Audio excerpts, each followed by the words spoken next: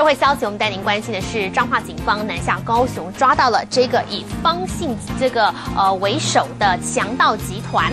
那么这个集团呢，在四月份当时涉嫌强盗勒索彰化非常知名的羊肉店家，而且洗劫了有养鸡场，甚至对民宅是枪击恐吓取财。这个抢匪非常的嚣张，甚至呢先前向警方放话，真来抓人的话，他们绝对会火拼抵制。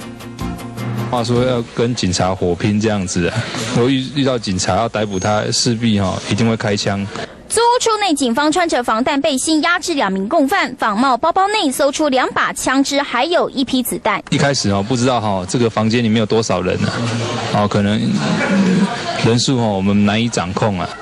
方姓为首的强盗集团先前曾放话，只要警方来抓，不排除要开枪反制。远警趁着他穿着轻便衣物、拖鞋到超商买东西，松懈防心之际，上前围捕，之后再转往租屋处搜枪抓共犯。我盐城区的一家超商，趁方贤外出购物的时候啊，诶，当场逮捕。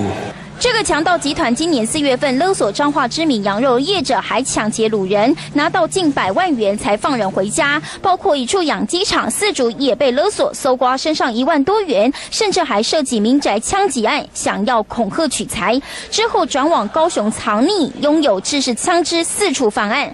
为什么要抢劫？为什么要抢劫？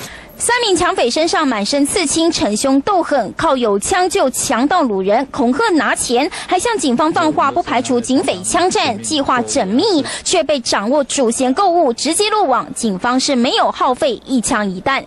中央新闻陈梦辉 S N G 小组彰化采访报道。